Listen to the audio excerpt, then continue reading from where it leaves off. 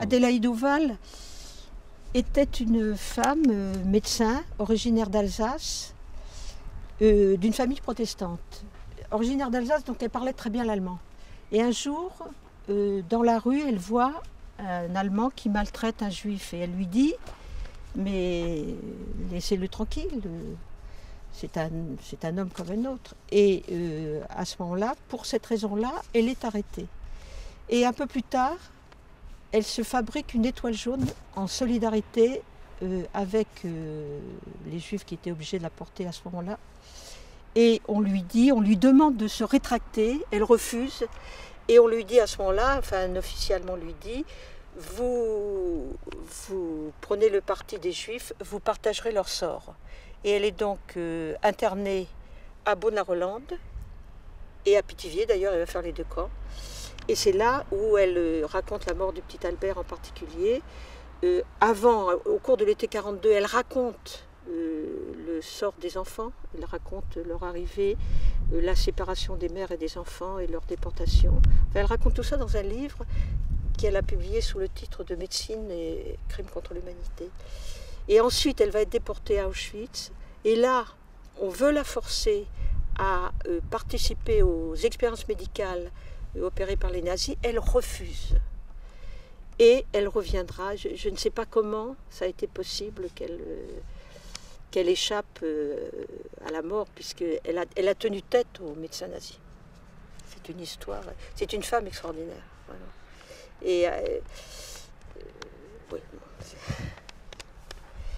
Donc là, il y a d'autres noms. Là, cette fois-ci, ce sont des adultes. Enfin, là, il y a, oui, là, il y a un enfant, pardon. Il y a encore un enfant. Il y a trois enfants qui sont morts à Beaune-la-Hollande et il y en a six à, à Pithiviers. À Pithiviers, ils sont enterrés dans la fosse commune. Il y a pas de... Quoique, moi je me souviens au tout début du Cercil, quelque chose d'assez étrange. C'est une dame qui était venue me voir et qui m'avait dit que quand elle était petite fille, elle venait avec sa grand-mère, alors c'était à Pithiviers, elle venait avec sa grand-mère euh, qui, mettait, qui s'occupait un peu des tombes, qui mettait des fleurs, etc. Et elle se souvenait très bien, elle avait un souvenir très précis de tombes. Alors il n'y avait pas de pierre tombale, mais avec de la terre, où il y avait simplement des, petits écriteaux en bois, où il y avait le nom d'enfant. Et elle me dit, quelques années après, j'ai pas retrouvé ces, tombes. Euh, elle m'avait même donné un petit carnet où euh, il y avait écrit le nom des enfants qui, en effet, c'était le nom des enfants morts à on a fait des recherches à la mairie de Pétivier pour savoir si à un moment donné il y avait eu ces tombes. Il n'y a aucune trace à la mairie de Pétivier. Donc est-ce que... Euh, on ne sait pas. Euh, en tout cas, ce qu'on sait, c'est qu'il n'y a pas de tombe à Pétivier. Alors il y a cette, euh, tombe-là aussi, comme vous le voyez, qui est écrite en yiddish.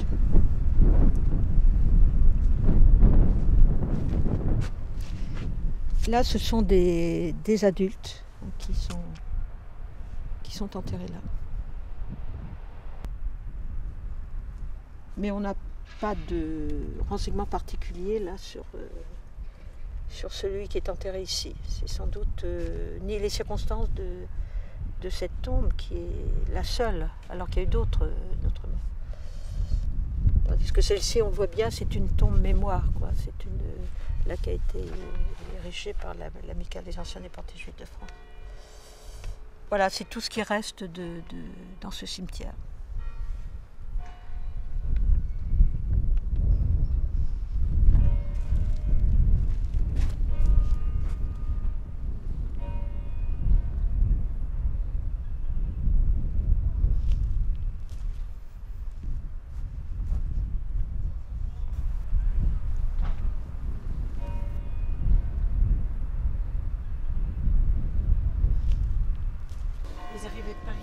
Ah ben alors, euh, oui, tout, pratiquement tous.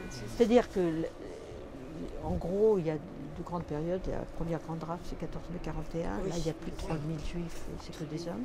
Et après la rafle du juif, l'horreur des, enfants. Quoi. Et pour la population qui vit ici Quoi qu'on en fasse, c'est pas eux qui l'ont demandé. Non,